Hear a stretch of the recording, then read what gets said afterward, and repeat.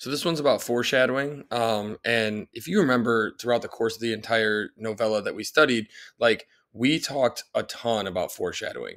The biggest thing I want you to focus on is the notion of there's really two main events that are foreshadowed. Okay. And the first event that's foreshadowed is Lennie killing Curly's wife.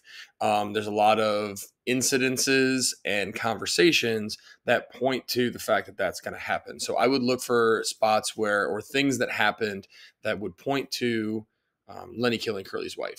The other thing that I would point to, as far as like um, evidence of foreshadowing is of George making the ultimate decision to kill Lennie. So, for example, um, we talked about in chapter one when George makes a contingency plan to for Lennie and says, if anything goes wrong, you need to come right back here where we are in chapter one.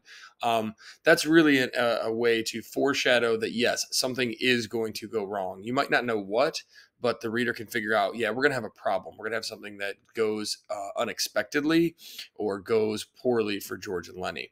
Um, another one I would say is when Carlson shoots Candy's dog. I think that that is a large uh, piece of foreshadowing for the fact that George will uh, kill Lennie. Um, the only thing to think about this one is don't don't try to pick evidence that like happens right before the event. So a lot of times students struggle. They they try to say that something is foreshadowing, but the event happens like immediately before whatever it foreshadows.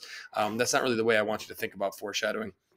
And also, as you explain foreshadowing, make sure that you explain what the the foreshadowing event is and what it foreshadows. So, what does it say is going going to come next?